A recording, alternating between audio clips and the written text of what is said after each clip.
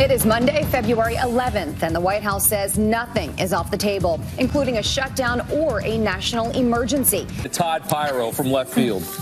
97. Wow. Wow. Bringing back some memories. You were four years old? I was graduating grade school in 1997. Uh-huh.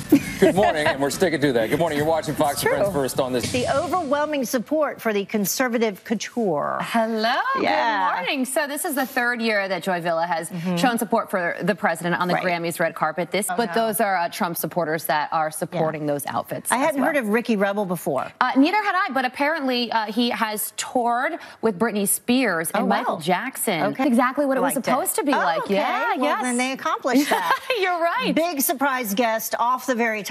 Absolutely. Michelle Obama Mm. surprised everybody by coming out with a few other celebrities. Here's what she had to say. I I don't have time to talk about it, but it was awesome. There were so many hats Ah. last night, and I they kept on. You know, the shadow was covering everybody's Yeah. eyes. Like, I'm take your hat off. I want to see your beautiful face. I think she looked great, though. She did, yeah, of for course. sure. All All of right, thank did. you so much. Thank you. Long night, All right. long night, late Very night. long. Whew, I'm tired.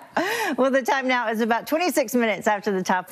The conservative couture. All right, so this is the third year in a row that Joy Villa has shown support for President Trump, on, Yeah. To say the least. Uh, she, you know, even addressed the criticism that she gets year after year, and she says that she just ignores it. I bet they had no friends inside that event. I could imagine. A lot, a lot of side eyes, a lot of looks. I'm sure. Um, Not the only political statements of the night, though, right? That's right. So I watched the opening number, and I totally missed this uh, when it happened. I recognize Ricky Martin. Ca- You know Camila, the only Camila Cabello. Camila yes. Cabello. I do? Yeah, Um, that, Havana, that Havana song, right? That's we'll her? play it for you. Yes, yeah. we'll all play it for you later. enough. All right, and Dolly Parton.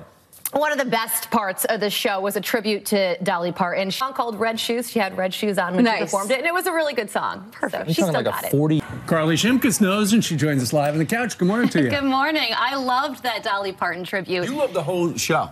I thought it was one of the best award shows that I've seen in a really long time. Actual Because it awards. wasn't overtly political. It was like a concert. Mm-hmm. It was a you know great issue with her for uh, dressing up as the border wall she on gets the a red lot of backlash, but she says she doesn't care. She just ignores it. That's right. That's what she said. She did say that she ignores the backlash. But it is interesting. I wonder uh, how uncomfortable or comfortable she felt wearing those outfits. I mean, this is the third year in a row that she's done it. So it does uh, work in her benefit towards the publicity aspect of her Absolutely. career. Yeah. Look at us. Yeah, we're That's talking what about we're talking about We're talking about her. morning. That's right. Listen, we'll listen to you on radio. Oh, please do. Channel 115. I would love that. Okay. We will. Thank you. Thank you. All right, uh, coming up on this Monday, Andy.